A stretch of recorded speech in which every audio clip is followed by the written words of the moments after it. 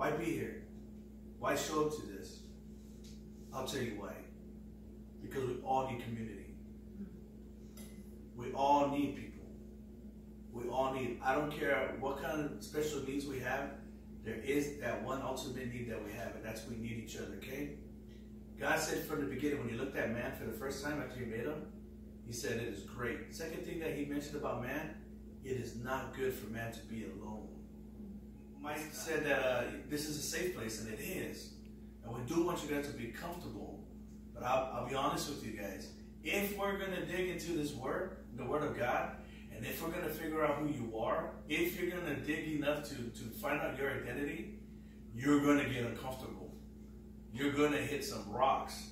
It's not going to be all soft soil on the top. Because when you get past that soft soil, you're going to have a, you're going to run into some hard areas that, really don't want to deal with.